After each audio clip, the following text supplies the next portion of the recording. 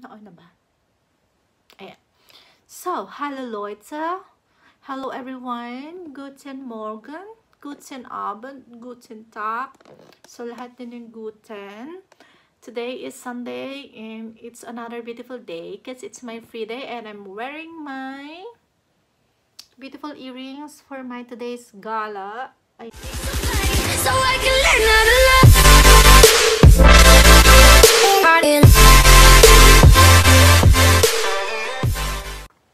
it's my arte-arte for today. Actually, it's not really a gala. And I don't have any plans. uh, trips or walking. I just want to sleep lang. And sleep at sleep at sleep uli. And matulog at matulog uli. So, yun lang. But the weather outside is really nice. So, parang sayang naman. So, we have an unplanned trip. So, ayan. So, mabilisang ayos lang. Ligo. And I dried my hair. Because it's cold outside. Masakit sa ulo kapag hindi nag-dry ng hair. And that's it. I'm good to go. Okay. So, that's why we are heading to Weinstrasse. And along the way, madadaanan natin ang Frankenstein. There's a castle in there. But, hindi natin ma-explore. I can explore that sa labas lang. So, ayan, siguro mga video clips lang. And the next stop would be the Bath, Bath Druckheim. Bath, Druckheim.